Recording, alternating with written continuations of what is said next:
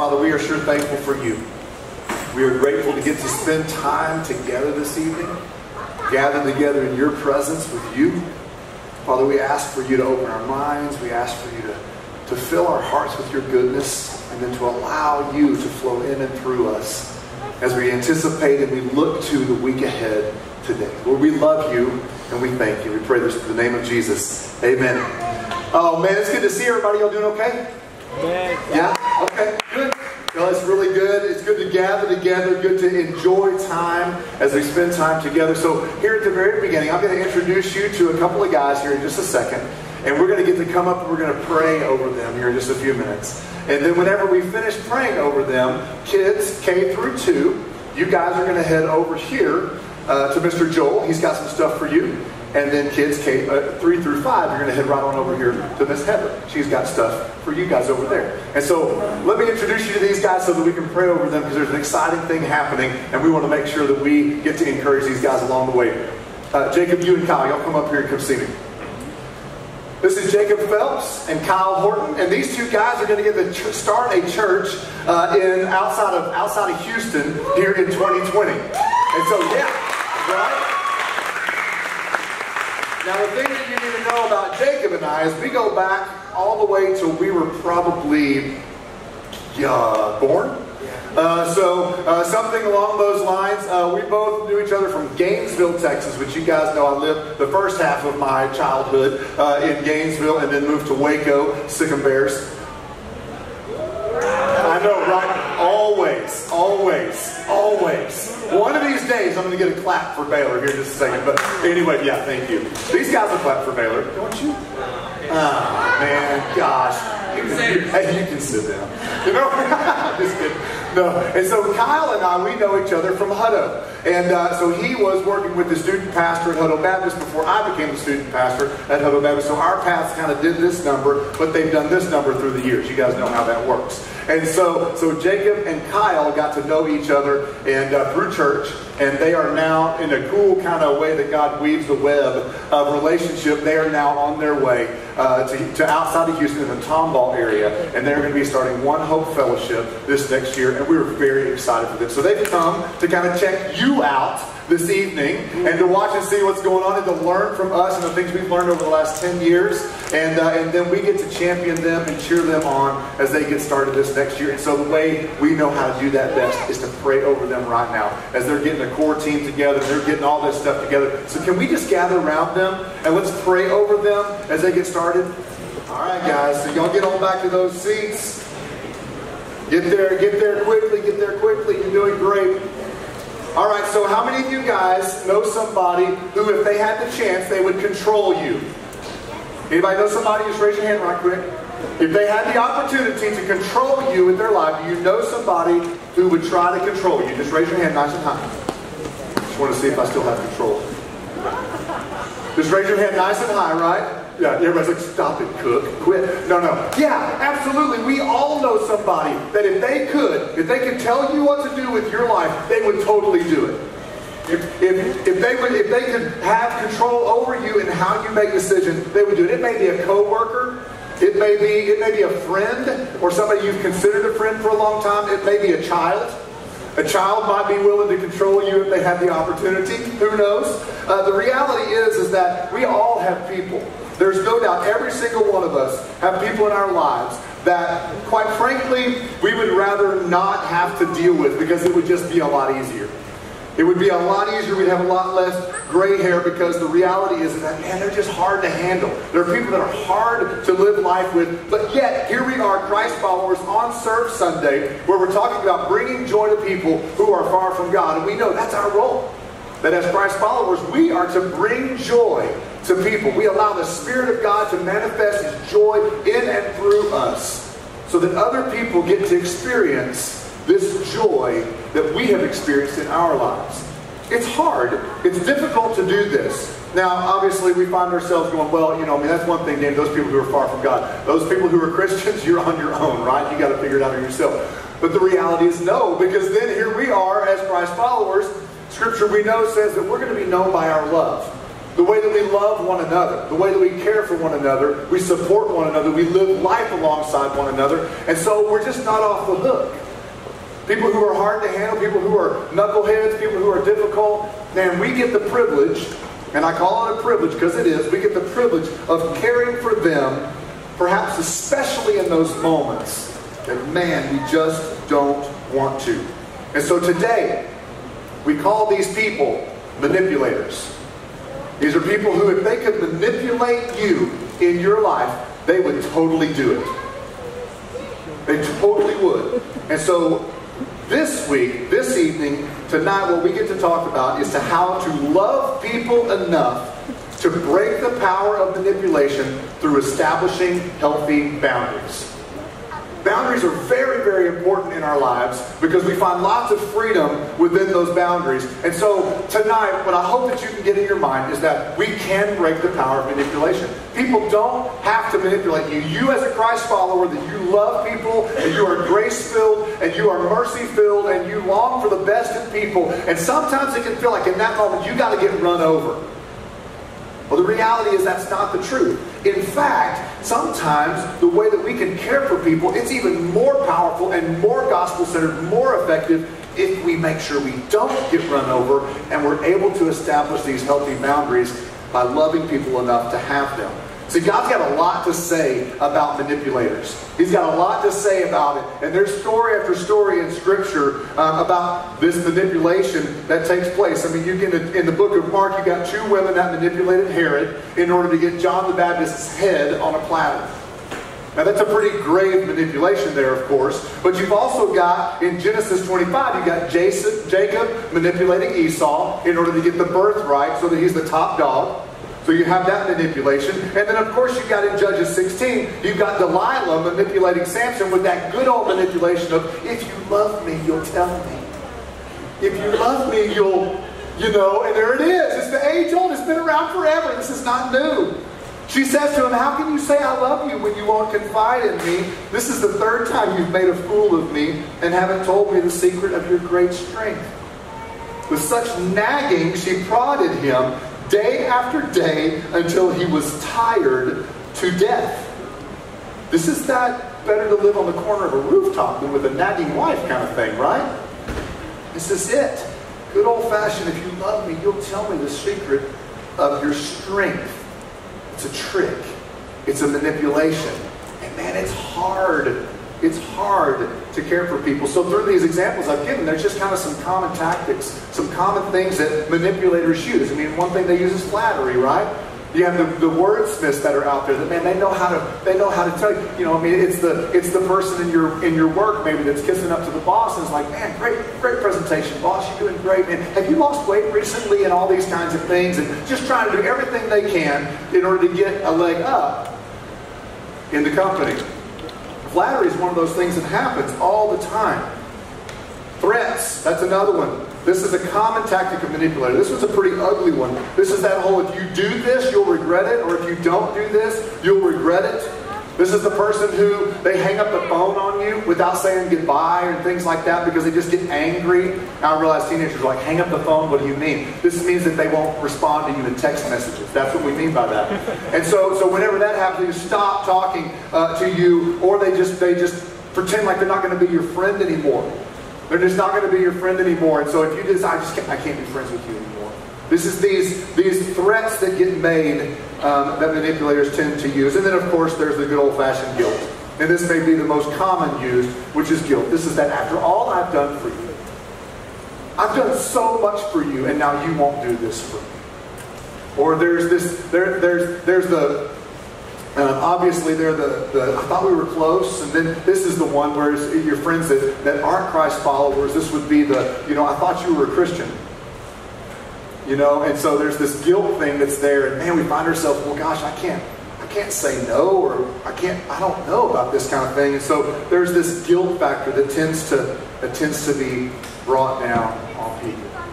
So the thing is, is that man, here we sit, and we long to put a good taste in people's mouths. But yet sometimes it feels like in that attempt to be good news to people, we find ourselves getting run over.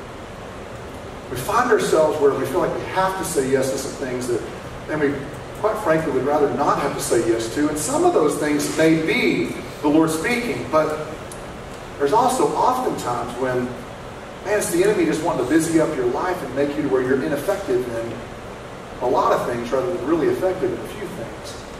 And so there's this power of manipulation. Tonight you can.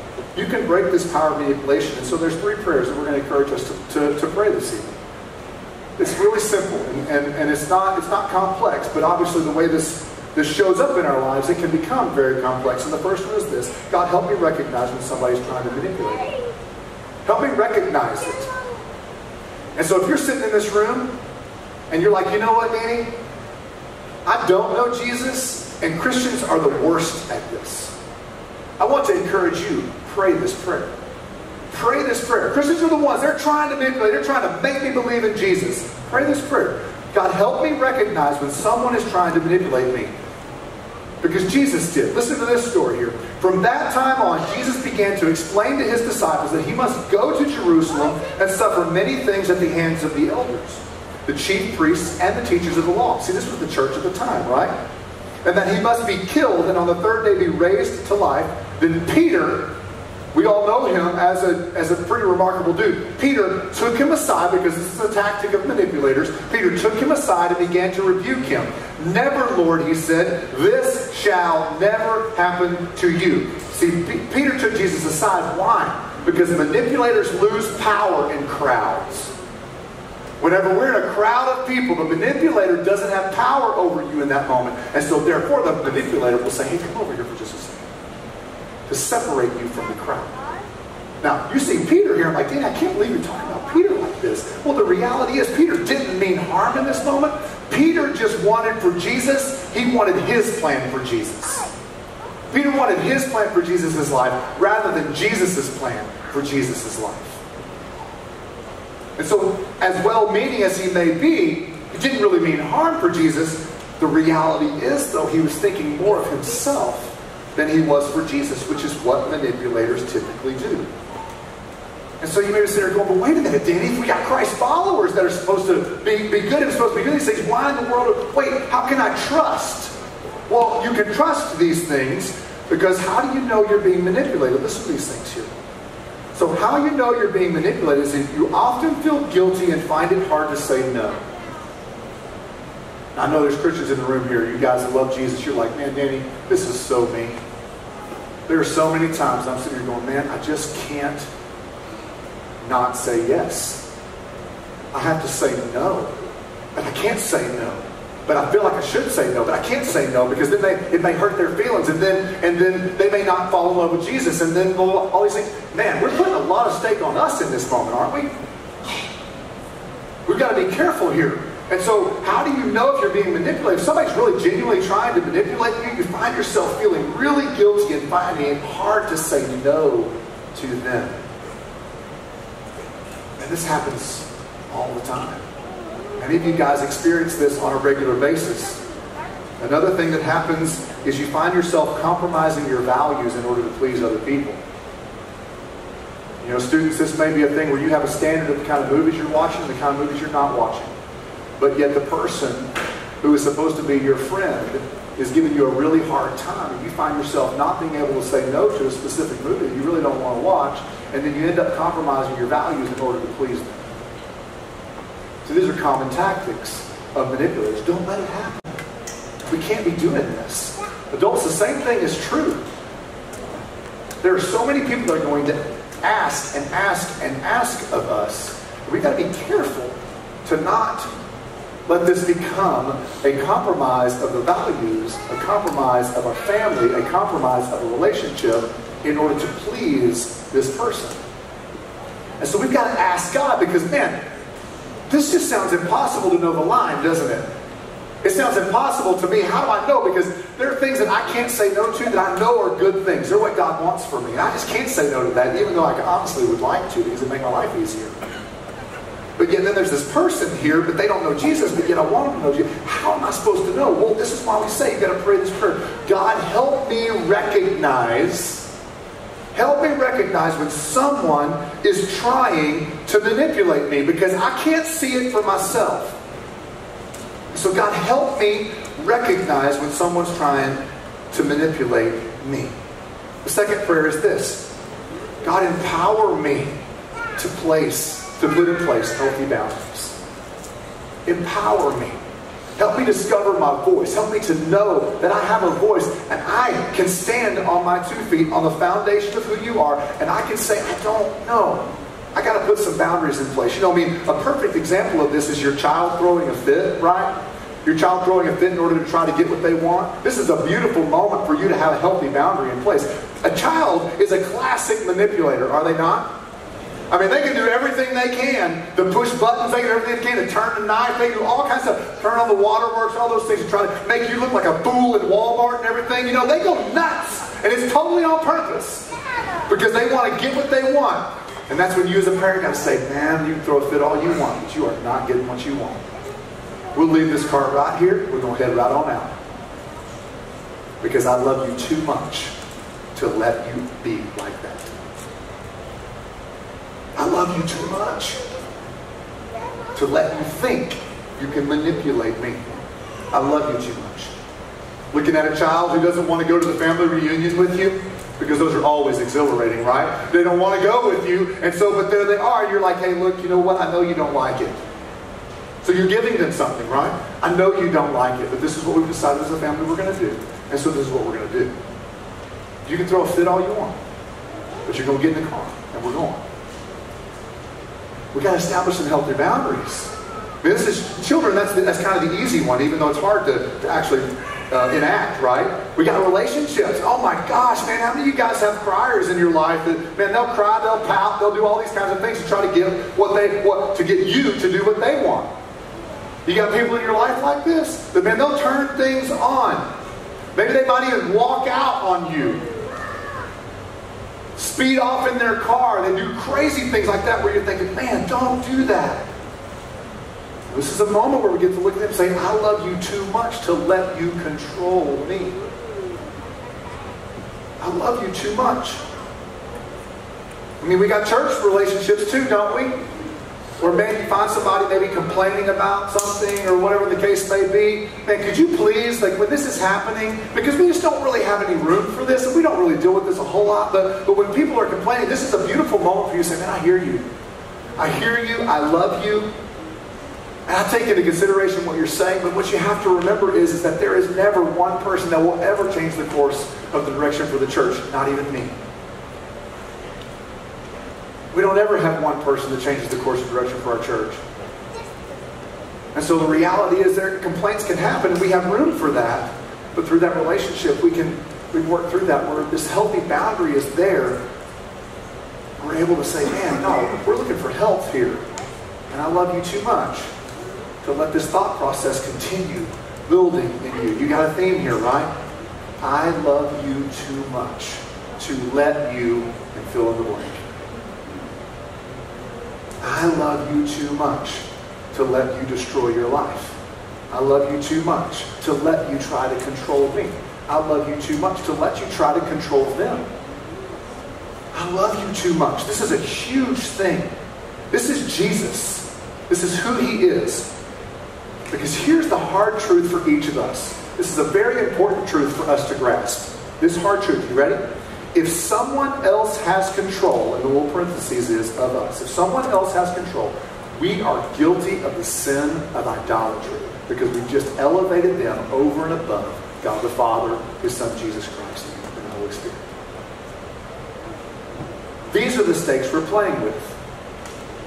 Just like we talked about the sin of omission this last week, where if we're just not thinking about the plight of humanity on this planet, it's actually sinful because we know about it.